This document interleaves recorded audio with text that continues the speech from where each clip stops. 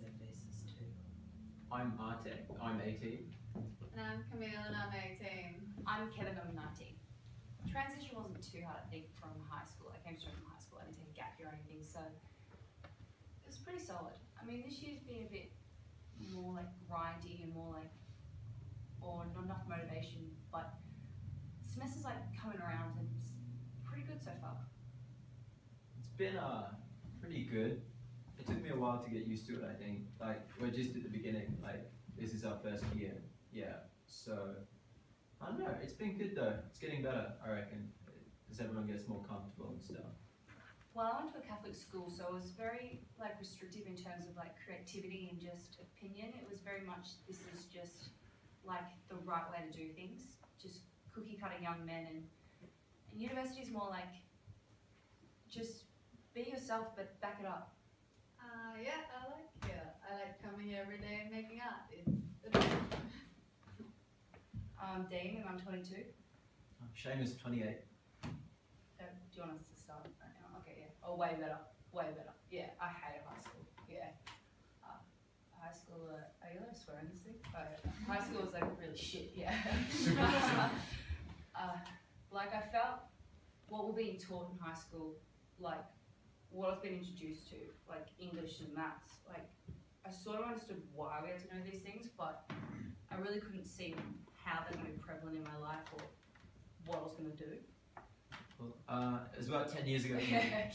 um, basically, I'm not, I'm not a brat anymore. Like you know when they talk about that sort of, uh, uh, uh, you know, that feeling of entitlement. That was definitely me at 18. I mean, there's that's kind of you know how like attendance isn't really kind of it's all kind of Yeah. done by yourself. Although you got to for that. DIY. Yeah, yeah, DIY experience. Yeah. You sort of come into uni, and I get given all this freedom, and I probably abused that freedom in like my second year, and that sort of led me to basically fail a whole semester. Yeah, I've learned structure and discipline in my life. Like, I've learned to put myself in a position to be taught and guided. Like, you know, I've, I've learned the value of asking for help and like, I've learned that by myself, like, I can only go so far in my own power, but like one person working with me, that's a power greater than myself. And I've learned from my own experience that like nothing just happens by doing nothing, you know, I'm not gonna have this life that I want by just osmosis. Uh, my name's Michelle and I'm 20, soon to be 21. I'm mm. Jackson, and I'm 26 years old. Mean person. Like just one of those straight up mean girls. Not outwardly, like I wouldn't bully people, but I would think mean things and like say mean things. I think because I was with a bunch of people who would do the same thing. We're all so different and we come from really different walks of life. Where someone like, like Jackson, when I first saw him, I was like, I'm not gonna like this person. He's scary. He's probably a thug. All these like terrible thoughts.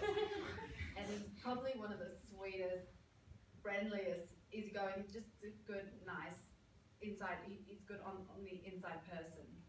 Whereas I know if I'd been 18 and saw him, I would have thought really differently.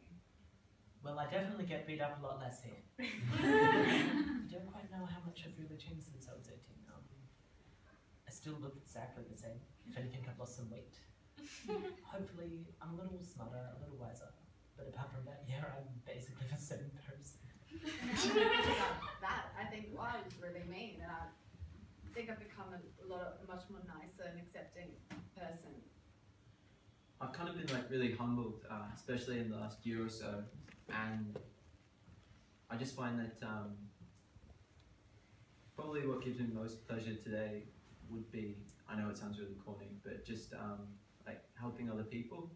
Whereas before I was very like you know uh, I was a bit of an island, like very uh, very self-supporting in the way that I would take from others and not give back.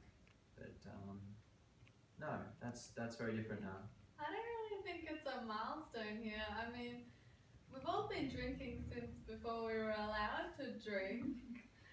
Like it's just gonna be another night at the pub, but at like a fancy function hall.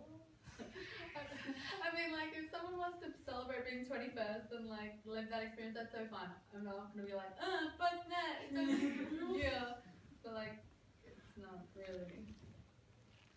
I don't generally like to celebrate myself. I've never really had birthday parties in like the last maybe like 10 years. And I don't, I don't see 21 as being a milestone age. I don't know why it is. If anything, maybe like 25, it's like halfway to 30. America, capitalism, you know, like all the birthday cards. Companies are like, yeah, let's make this a thing. It's like Valentine's Day.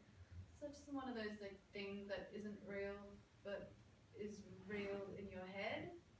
Yeah, actually, maybe 21 was a bit of a turning point. I don't know what it was. It was not a noticeable change, but it was a. That definitely was a noticeable change. But I can't really explain how. You know? I don't know. It might be better though. Maybe. No, I mean, having anyone. That's what I mean. I don't like drinking. Yeah. Oh, jeez. Uh, how would they best play me? Is that is that sort of what's going on here? Like, there's going to be like a play built on specific interviews done like this. Oh, yeah, definitely want to know what's going down, so I can come see it. Yeah. uh, don't take yourself too seriously. Yeah. Try to be arrogant, but like not too arrogant. Bossing your leader I around. would feel famous. so you're big enough to get a play about me. Yeah. Uh, Yeah. I mean, that's um, That would be pretty good. also just like theatre is great. Yeah. If that had happened, that'd be pretty good. Yeah. I'd be up for it. Yeah, I'd be down. maybe try and draw on their experiences of pain and how they overcame that pain. I think it's uh, relatable. Um, please be gentle. no, I, I would, uh, well, no, I would say, um, try, just try to envision a world where everything that makes you nervous and neurotic and you'll be able to pull off my character pose. My perception of myself clearly isn't how others perceive. I think it would be too confronting. It would be a surreal experience. It'd be exciting, but also nerve wracking. But um, nah, I'd, I'm really enjoy seeing that. And it's kind of great to have this day in my life, like cemented. My sister's having a baby today. Um, she wanted to give birth naturally, but because it's a breech baby, she has to have a C-section, which is happening in less than half an hour from right now. So my mind is like spinning in all directions.